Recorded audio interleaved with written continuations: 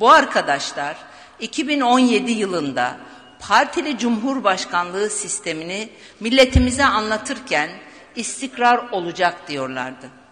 Ayağımızdaki prangaları söküp atacağız. Öyle söylüyorlardı. Memleketin uçacağını, kaçacağını, aşacağını, Türkiye'nin şaha kalkacağını söylüyorlardı. Peki aradan geçen beş yılda ne oldu?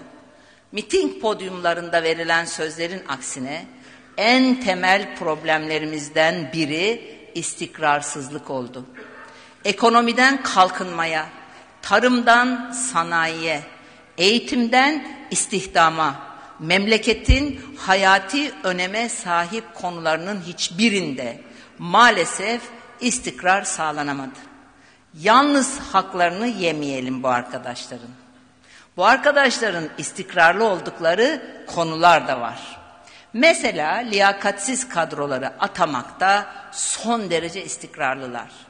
Mesela sergiledikleri berbat yönetim performansında acayip istikrarlılar. Mesela gece yaralarında aldıkları yalan yanlış kararlarda müthiş istikrarlılar.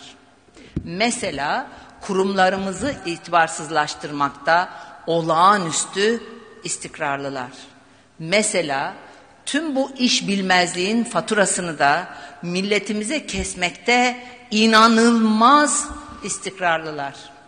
Ez cümle eşi, dostu, yandaşı ve o beş müteahhidi ihya ederken milletimizi yokluğa, yoksulluğa ve umutsuzluğa mahkum etmekte fevkalade istikrarlılar. Türkiye bu istikrarsızlığı daha fazla taşıyamaz. Partili Cumhurbaşkanlığı sisteminin tetiklediği ve tarihe Erdoğan krizi olarak geçecek olan bu devlet krizini Türkiye daha fazla taşıyamaz.